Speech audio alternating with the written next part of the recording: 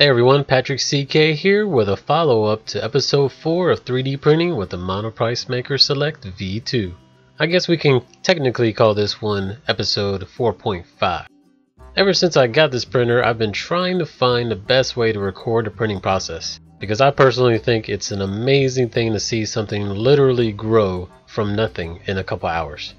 I've been frustrated by the fact that both parts of the printer actually move constantly something I knew I would have to tackle going into it.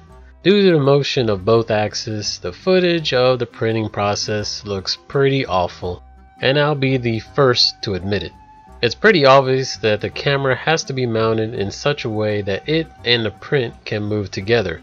Of course, this is easier said than done. You could just stick a mount directly to the surface of the print bed, but this takes up valuable printing space and you will also have to remove it completely every time you have to calibrate the extruder height. Not to mention with the bed getting up to 60 degrees C or 140 degrees F, any adhesive will probably create a mess of the printing surface. Not an ideal situation. So the next logical position is on an arm attached to the bed. Again, easier said than done. My first idea was to attach a metal bracket to the set screws on one of the corners, but the first and second iteration of this resulted in really wobbly footage. It was also a pain to take on and off, and lastly, it had the unattended effect of loosening the set screws during printing, something kind of obvious now. Then I realized I have a 3D printer. There must be something I could print that would attach to the bed and provide a solid platform for my old GoPro camera.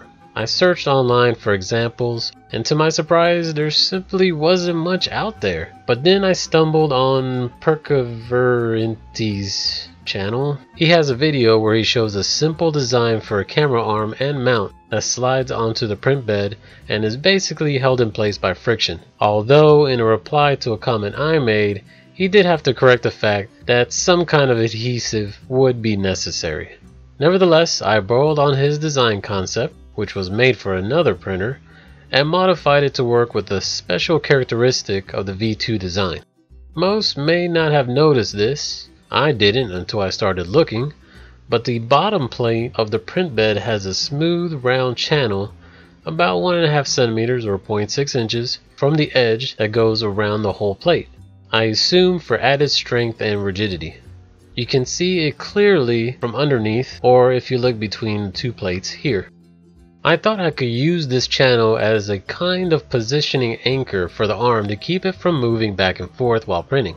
This inspired the prototype for what I'm calling the Monoprice Maker Select V2 Camera Mount System, or MMS V2-CMS for short.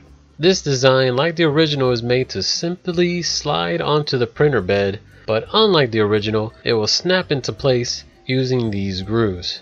As I designed the arm, I did have to go through a couple iterations to fine tune the fitment. After the first round, I didn't realize the arm would have to clear this tiny gap between the bottom of the bed and the base support.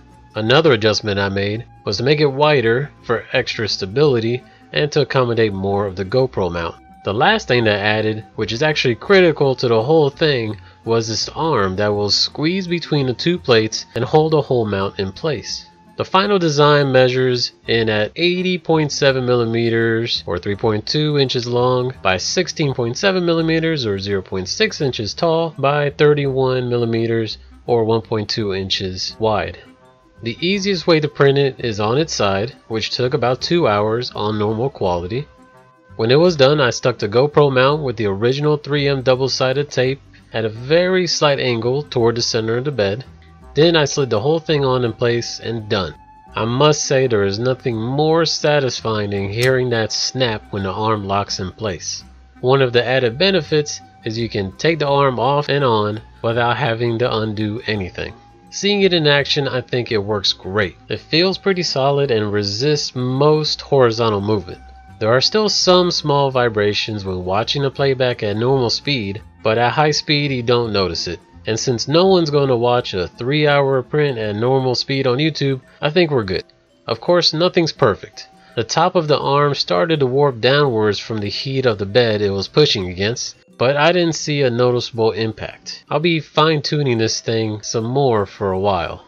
I uploaded a design to both the Trimble 3D Warehouse for my SketchUp users and to Thingiverse if you want to print it as is. Links to both in the description. The nice thing is you can modify to suit your needs. You can make it taller or narrower or even print a mounting bracket directly to it. Pretty much anything as long as you remember the clearance issue on the bottom. If any of you peeps have ideas for improvements or a completely different idea for a mount, don't hesitate to share. Well, this has been Patrick CK. Like and share if you enjoyed this content. Subscribe to get more videos when they come out and hope to see you all next time. Thanks everyone.